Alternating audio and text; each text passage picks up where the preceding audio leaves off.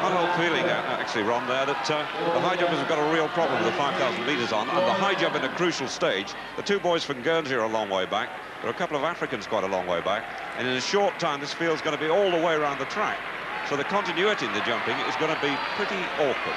Absolutely. It's a piece of delicate timing, just getting your jump in and your concentration before this, this puck come round, which are being lifted by this crowd. It's a wave with a wave of enthusiasm as well. But uh, that all the principals are together in that pack. And of course, uh, everyone waiting to see what's going to unfold after about half a dozen laps in this 5,000 metres.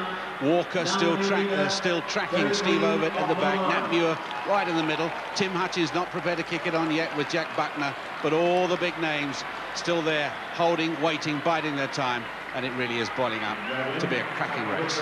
The race is being run at the moment at this pace for this man, Steve Ovett, and for John Walker, who's following him.